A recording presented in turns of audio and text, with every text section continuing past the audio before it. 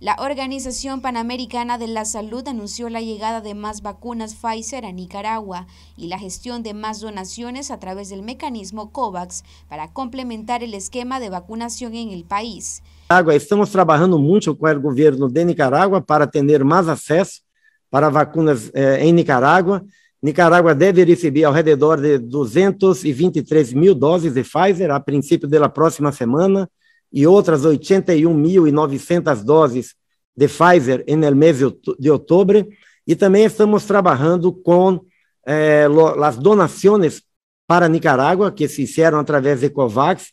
No caso de Nicarágua, há uma donação de Espanha de 625.920 doses de vacuna de AstraZeneca, que estamos também trabalhando para eh, acelerar o processo de chegada dessas vacunas a Nicarágua. Então, com isso, eu creio que se, se vai a utilizar de maneira melhor todas as vacunas que estén disponíveis em Nicarágua. Aseguran que las únicas vacunas aprobadas por la Organización Mundial de la Salud para aplicarse en niños son las Pfizer y la Moderna, pero que las vacunas cubanas podrían ingresar al proceso de precalificación. Cada país hace la evaluación de los documentos presentados por los productores para autorizar a vacuna.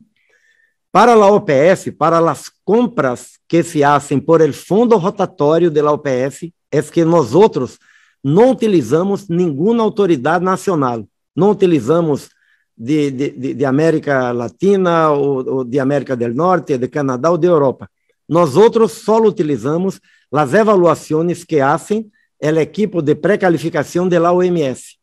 Então, para nós outros, só podemos falar de las vacunas que já foram evaluadas por la, la equipe da OMS e já tiveram, já receberam, já, já receberam a autorização de uso de emergência para a COVID-19. Então, não podemos falar sobre vacunas que todavia não han completado esse processo.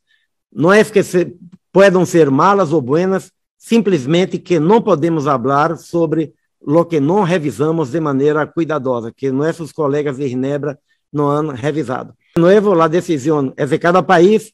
De nossa parte, eh, temos como vacunas autorizadas por la OMS para uso em ninhos e adolescentes, hasta agora, solo a vacuna de Pfizer e de Moderna. As outras estão bajo revisão.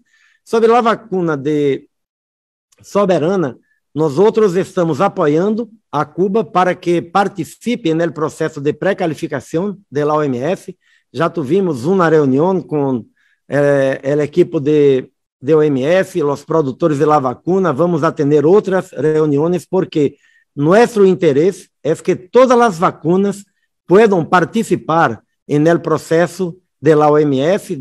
Para Noticias 12, Gabriela Solórzano.